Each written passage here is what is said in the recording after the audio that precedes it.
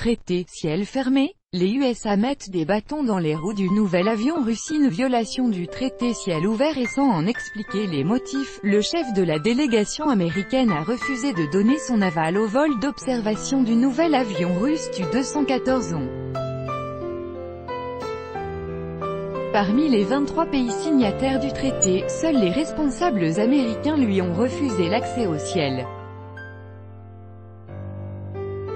Les États-Unis ont suspendu les vols d'observation que devait effectuer le Tu-214 dans le cadre du traité ciel ouvert, a annoncé Sergei Rikov, chef du Centre national pour la réduction de la menace nucléaire.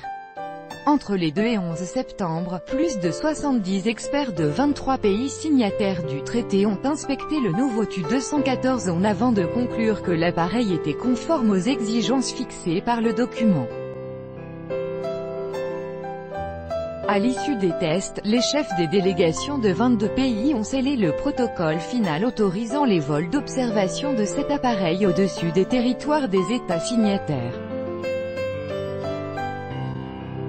Cependant, le chef de la délégation américaine, en violation du traité ciel ouvert, sans expliquer ni citer quelques raisons que ce soit, a refusé de signer le document final, évoquant les ordres directs de Washington, a fait savoir M.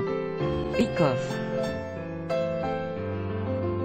Selon lui, en bloquant l'accès aux futurs vols d'observation du Tu-214, Washington a une fois de plus montré aux autres pays signataires que, pour lui, la politique l'emportait sur la conformité de l'appareil aux normes du traité.